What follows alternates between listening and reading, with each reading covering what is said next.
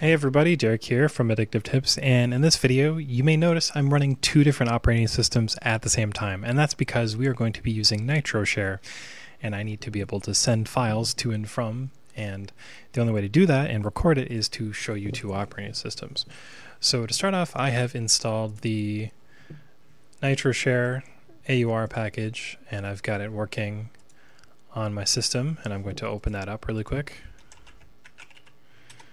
and uh, click the close button. Now, I always refer to Manjaro as Arch because it's a derivative. Uh, it's not. It's its own operating system. It's not just Arch, so I apologize uh, for those of you who wonder why I say that. But anyways, uh, so I've got NitroShare working over here, and if we look in my my system tray, we'll see it here. Now I'm also going to go to Ubuntu and open up NitroShare.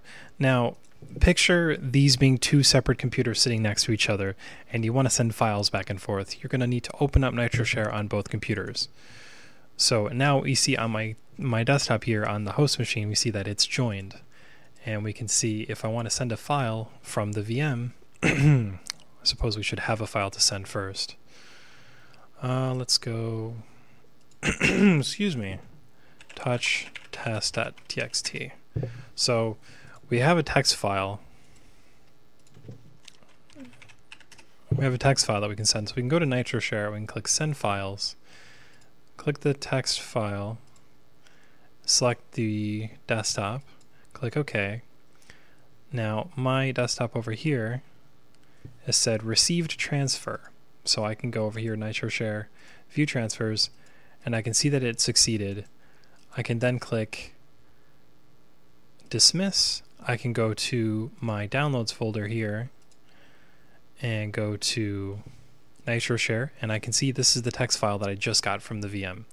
Now if I want to send it the other way through and maybe I want to send a directory from my folder over here to the virtual machine I can go to send directory I can go to the folder. Let's say I want to send my pictures my wallpaper folder. I click OK select the VM click OK.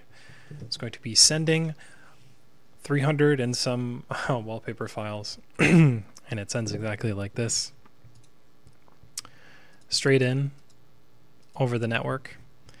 And then once it's done transferring the VM will get a notification saying that it was transferred. I can go to the downloads folder NitroShare, wallpapers. And uh, each of these JPEGs are in their own folder.